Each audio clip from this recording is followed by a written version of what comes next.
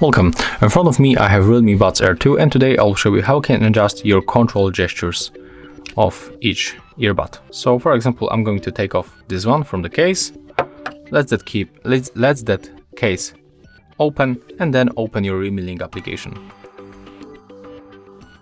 Choose your Realme Buds Air 2 that you already pair. We can make that update later. And right now when you want to change your gestures or the button, however you call it, go below, click on it, and as you can see on the left one, we turn off the double tap option. But we can enable it. For example, we can set here to play or pause. The music or the media, I've, even media, and that we listen. Uh, on the triple tap, we can use the next track, for example, or you can set the previous track. Let's go for the previous track on the left. And when we touch and hold, we can, for example, wake the voice assistant. Right? I will put back this one.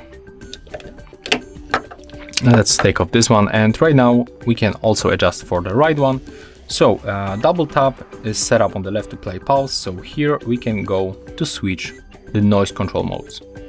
So we can go for the normal mode, noise cancelling or transparency with a double tap on the right. Triple tap, we can go for the next track so we don't we are not going to change it. And on the touch and the hold on the right one, we can adjust the game mode.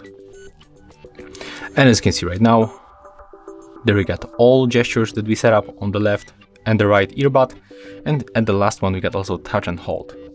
So it's this setup, this one, switch noise control modes.